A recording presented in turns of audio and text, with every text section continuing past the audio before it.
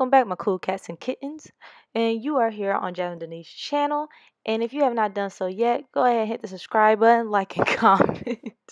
if you don't know where that's from, yeah, you lame. I'm sorry.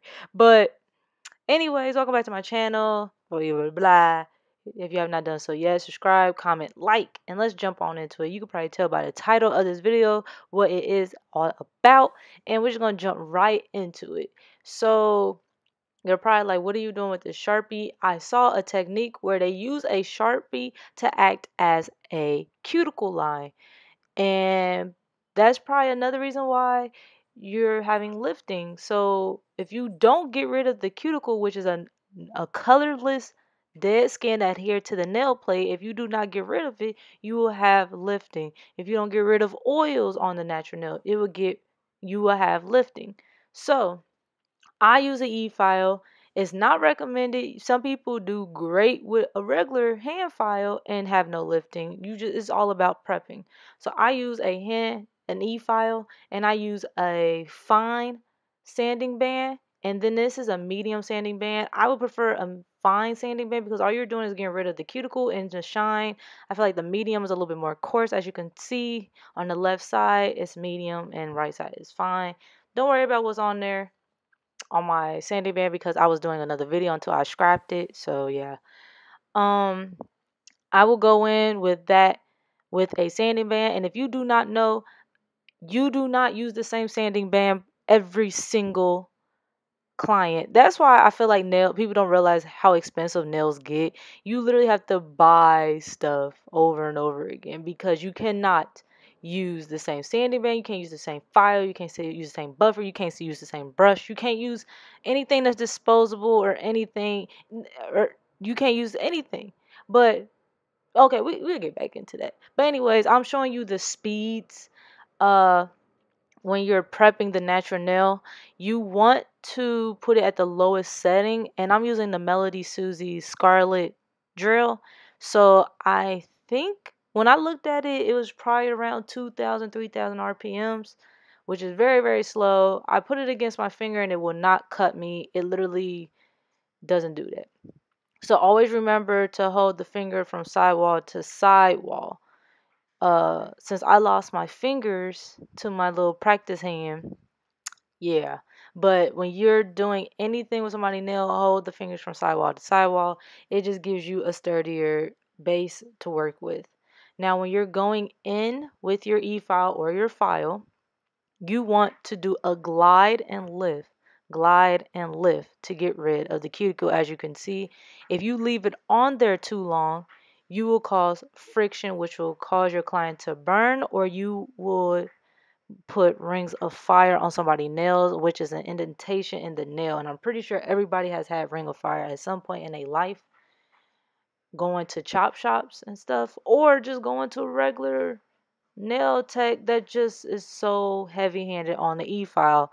I literally personally was so terrified to do that. So I, I think it's best to also practice on yourself so you can feel what it feels like. I'm sorry, I feel like to me it was better if I mess up my own nails than messing up somebody else. Of course, you don't want to mess up your nails on purpose, but yeah. But this is what I'm talking about. Like this brush specifically, I use for my desk to brush dust off. I do not use this on clients because you can spread any you don't know if somebody was bleeding spreading all that like use different brushes per client but for my practice hand i just use it it's not a real hand but as you can see i got the cuticle off air parentheses uh i or air quotes i got the cuticle off and i took the shine away without any indentations. Of course, you probably still said black because I wouldn't use black if you're going to do this method. Now, going in with nail tips, use Mach 5 glue. I feel like this is best for the practice hand because people always have problems saying that their nail tips don't stick. And Mach 5 literally sticks to anything. like, you get your finger stuck, your finger's going to be stuck. So, make sure you measure your nail tips from sidewall to sidewall. It should not be bigger and it should not be smaller or you will have cracking or lifting. So it should fit from sidewall to sidewall. You can also file it to make sure it fits that client's fingers specifically. So that's totally up to you. So as you can see, there's my nail tip and I will also leave everything I use down below so you can go ahead and click it if you would like to purchase anything. Of course, I have no affiliation links, so your girl ain't getting paid. So, but yeah, if you need anything, everything would be down in the description box below. But yeah, I got these nail tips from Amazon and I got this nail tip cutter from Sally's, but you can also get from Amazon different colors, blah blah blah. So I'm gonna cut it short, like I said. I'm only showing you the short way so, the first thing is to file whatever shape. So, we're just going to keep it square. So, when you're filing, keep it on the sides. Don't bend the the file inward. Don't leave it outward. You want your file. Oh, I'm just showing you the sidewall thing. But you want the file to be at a 90 degree angle. It's kind of hard for you to tell because I'm trying to look, but my camera's literally right above my practice hand, but you want the file to be 90 degree angle from the nail. That's how you're going to get that straight line. And you want to do at least four files on each side because since I'm only doing square, it's no point of going hard at all. So it's like one, two, three, four, and then move to the next side. Because if you file too much on one side and not the other, then that's when your nails will start to look lopsided. But keep your file at a 90 degree angle that's how you get them straight lines. And you good. Now I feel like now my sides are good. Now I'm going at the top. Now some people were like, okay, at my angle it looks crooked. Now, yes, I have that problem as well, but it, it you basically just got to pay attention and hold your file at a good angle basically. It's hard sometimes. Like you still want to hold it at a 90 degree angle like from the nail to the file it should make a 90 degree angle that's what i mean by that and the best way to make sure that it is straight across or whatever if you like one of the people that it has to be perfect flip your client's hand where the back hand is facing you and the nails are facing you and file uh that way so you can get uh straight like like this basically it should be facing you and then that's how you can file it better if you feel like it. So I already did that off camera because there's no point of watching me do all that. Anyways. So yeah, I feel like I'm talking this whole video. But whatever. Anyways. Um now we're gonna blend the nail tip. You can also take your file or your e-file. I used to do the file, but the e-file is a lot faster. But when you do this part, you do not touch the nail plate. You're just touching the nail tip. Do not touch the nail plate. Do not file the nail plate. Do not do any of that. You literally are only touching the nail tip just to blend it into the nail plate. You do not go hard. You don't do any of that. So when I'm going in with my e-file, you're just upping, upping the RPMs. So I was at 5,000 RPMs. So when I started with 3,000, I'm at 5 to 6,000 now just to blend it. And I'm doing that glide and lift to not cause friction and all you doing is just wanting it to blend as best as you can to the nail plate like it don't have to be perfect only if you're doing like a clear nail you want it to be pretty close to the nail plate so you don't see the line for the nail plate and then I just go ahead and uh, file the rest of the nail and sometimes I take my e-file to clean up any imperfections where I filed. You do not have to do this. It's not recommended. If you don't feel comfortable, do not do it. Uh, I don't know why I did it because I felt like I messed it up. Because it's like if y'all could see my setup of my camera, it is so hard for me to look at what I'm doing. So, yeah, that's all I'm doing at this point. Yeah, so Ah, okay, Jazmin. now you go ahead and brush the excess uh, dust off. So when you go in with your, this is optional. You don't have to do this, but I feel like this just works for me to make sure I get all the oils off. This is a dehydrator uh, from OPI. You can use any dehydrator because all it does is just gets all the oils off. That's it. And you only need to put that on a nail plate. It does not go on the nail tip. You do not have to do that. It's not necessary. And then you go in with your choice of primer. I use Young Nails Protein Bond. I like it. I feel like I have no problems with it. Not really. Of course, if you have lifting, that's because your prepping is not good. that's literally what it resorts to.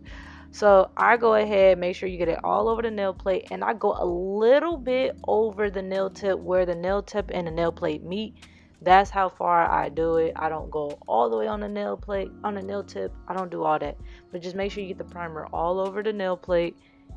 And you do not have to do this part, but I do it. I put it a little bit where the nail tip and nail plate meet. Okay, now I'm going in with my size 12 brush I got from Amazon. I will leave the link down below if you would like to purchase this. I like it. I don't get any clumping in my bristles, but it's also because if you get clumping, it's because you're not cleaning your brush enough in between each bead.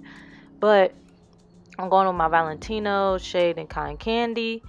I love Valentino. Is very, very easy to work with. Of course, it's a little expensive, but it's worth it so if you don't want to spend that much money on acrylic right now, if you're like a beginner, then don't buy this yet. But I use Valentino. I use Valentino, Young Nails, Glam and Glits, blah blah blah. But anyways, um, I also use Young Nails monomer. I prefer their monomer because I just like it. I don't know. I don't know. I like it a lot. It's I tried Mia Secret was and then when I met Young Nails, I broke with Mia Secret, Mia Secret, and me and Young Nails got married. So yeah, that's what ended up happening. So what all I'm doing is I'm just putting my brush at the bottom to get any bubbles, you know, get all that out. Cause you know how people be saying I get bubbles in my acrylic, and somebody I saw on Instagram say, do this before you do it, and it works for her. But yeah and I worked tried it and here we are.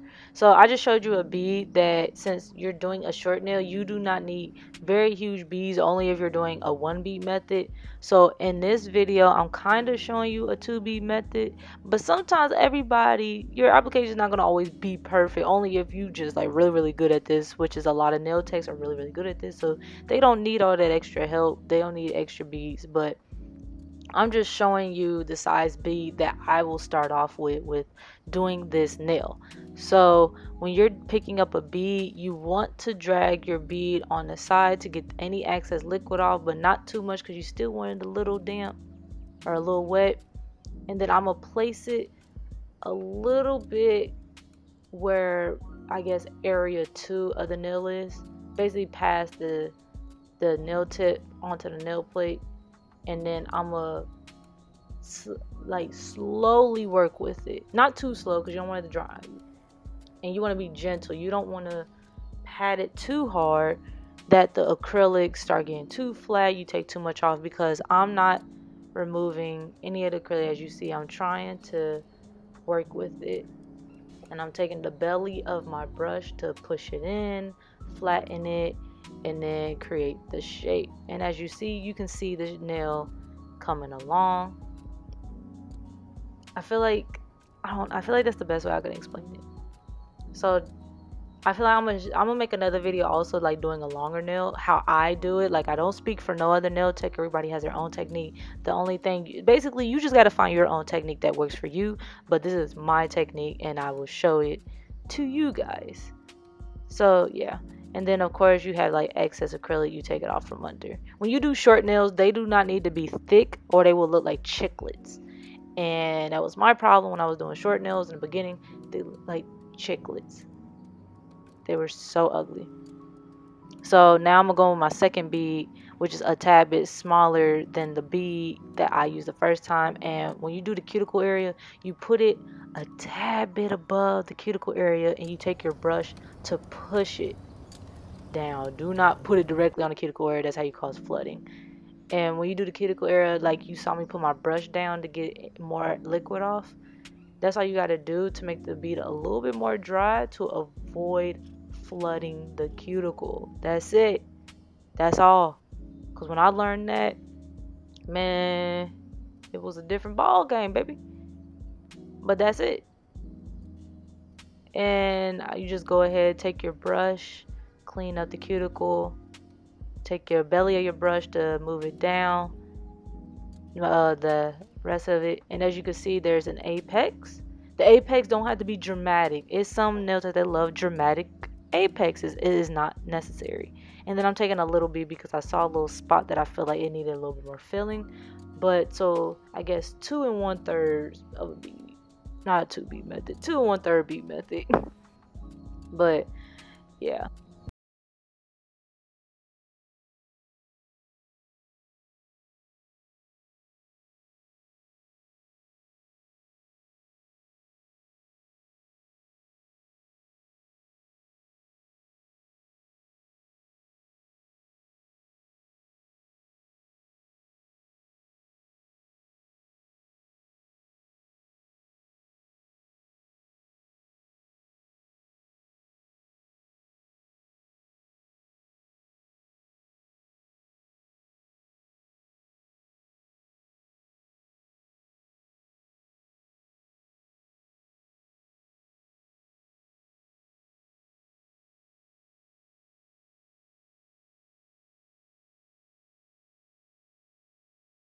Now I'm going in with my e-file using a very, very fine uh, drill bit. The teeth are not big at all. I literally put this at the very low setting.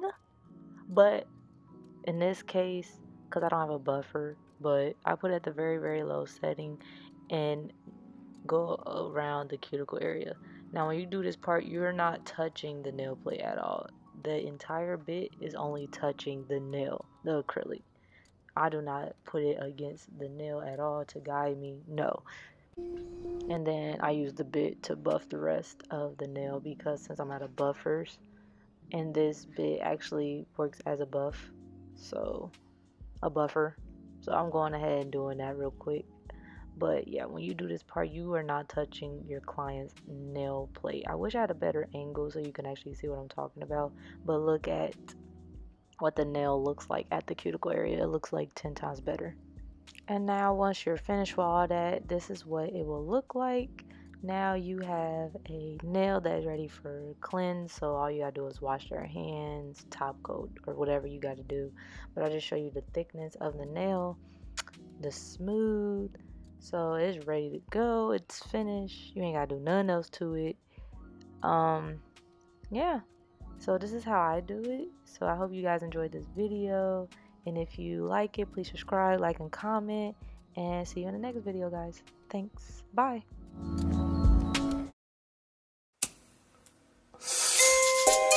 something like I be on something.